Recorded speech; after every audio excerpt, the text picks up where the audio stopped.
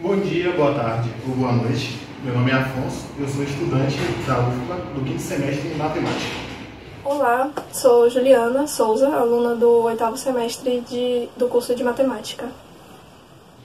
De 2018 a 2020, no Colégio Rafael Serralado, E nossa orientadora foi a Denise Viola, que fomos supervisionados pela professora Andréa Moreira, André Moreira lá no, no Colégio Rafael Serralado.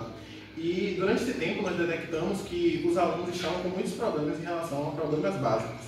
E então é, fizemos o, o na verdade encontramos um, um de potência e raiz quadrada na internet do professor Wilson Oliveira, que é professor da rede estadual do Rio de Janeiro.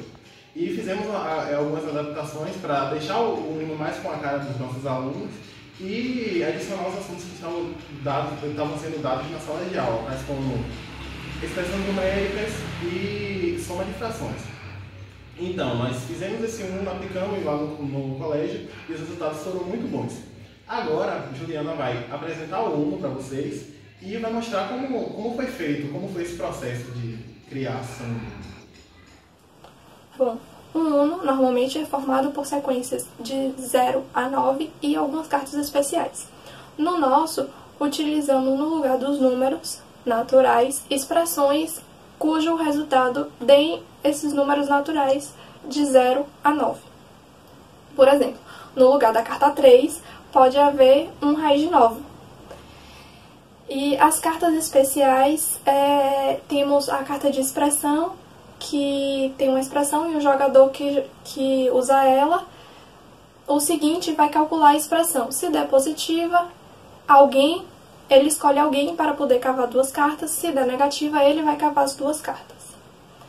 Bom, o Uno foi confeccionado e foi impresso em folha de ofício, colado em papel cartão para poder ficar mais duro e depois foi colado em papel contact para poder ficar mais resistente e ter uma maior durabilidade.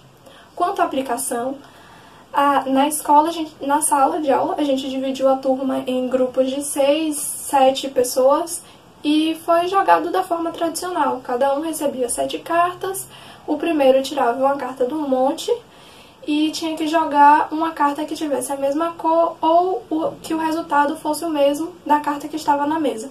E o ganhador é, era o que acabava todas as cartas primeiro.